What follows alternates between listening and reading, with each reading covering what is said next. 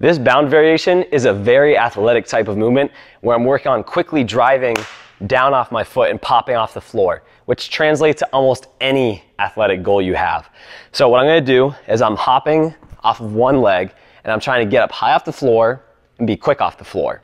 To help myself do that, I'm gonna use my opposite arm and leg swing as I'm going to help drive me up. It looks like this.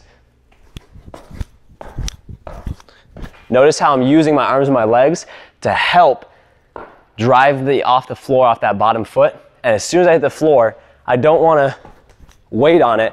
I want to pop, pop, pop. So I'm going forward, but I'm also trying to drive up high as I can each time.